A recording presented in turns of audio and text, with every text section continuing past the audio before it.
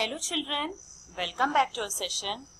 Today we are going to learn a new poem Down at the Bus Stop. So children, have you ever been to a bus stop? What do you see there? Now this poem is all about a bus stop. Let's see. Now here we can see few children standing near a bus stop. Okay. Now, what the children are singing?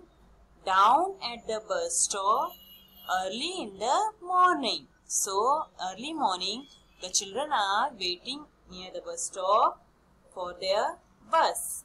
Okay. See the yellow buses standing in a row. Now, children are waiting for their bus. As they were waiting, they saw few buses yellow buses standing in a row waiting to travel okay? Waiting to board okay?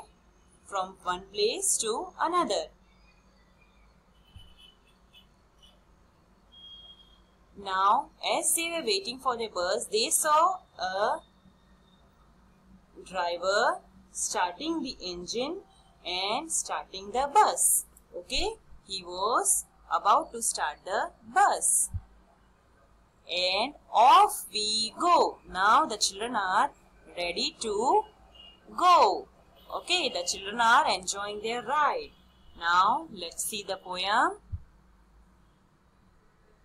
Down at the bus stop early in the morning, see the yellow buses standing in a row. See the bus driver starting up the engine. Ding, ding, ding, ding off we go. Now, as I said, the children were waiting for their bus early in the morning and they saw yellow buses standing in a row waiting to go. Now, in one of the bus, they saw a driver starting up the engine and they all got, got up in the that bus and they are ready to go. Children, I hope you enjoyed this poem. That's all for today kids.